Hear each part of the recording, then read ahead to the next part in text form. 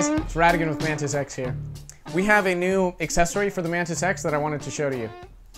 For those of you that train from the holster, you've probably seen our magazine floor plate adapters. This is where you remove the magazine floor plate and replace it with this, and then place the Mantis X on the floor plate of the magazine. And that allows you to train from your holster with the Mantis X without needing to buy all new holsters. One of the difficulties in that is there are so many different models of firearms that it's nearly impossible for us to create an adapter for every single firearm individually. And so what we have recently developed is a universal adapter. And this is a little piece of Picatinny rail with some VHB tape on the back that you can stick to the floor plate of the magazine and it'll do the same job but on any magazine.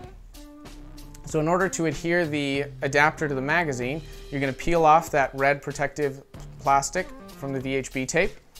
And then you're just gonna place that adapter on the floor plate of the magazine and put some pressure on it. Now the manufacturer says that you need about 20 pounds of pressure for 20 seconds in order to get full adhesion. And then you need to let it cure for 24 hours.